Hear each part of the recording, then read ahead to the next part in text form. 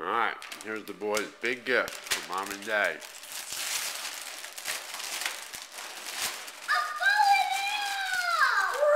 A real one. Oh and and we got Nico one too, and we set up.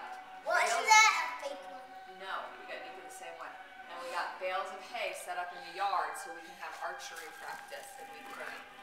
Daddy set up Mr. Tommy's bales of hay so we can shoot real arrows at bales of hay. Oh my goodness! This is awesome. And if Marshmallow the cat comes up the street again, we got something for him. Yeah. A real bow and arrow, guys. So when we go camping, you can hunt squirrels. We get a roast squirrel. Thank you. You can try to shoot gophers in the vacant lot. Yeah. Pretty cool, huh? We can